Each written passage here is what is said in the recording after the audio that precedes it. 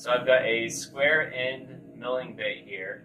This is a half inch bit, so it means it's got a half inch diameter.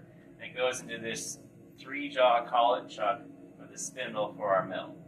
So this is sized to fit our milling bit, and then the whole collet goes into the end of the spindle, and then there's a thread inside the spindle which will pull this bit up into that. And what you can see here is there's a little bit of a gap on the sides of the chuck, which will cause it to squeeze down onto that bit and hold it very, very centered, so it's exactly or very close to being exactly in the middle, as well as not allowing it to slip or rotate at all. So we know that that bit is held securely in our tool, so as we're doing all of our cuts, it's not going to move around.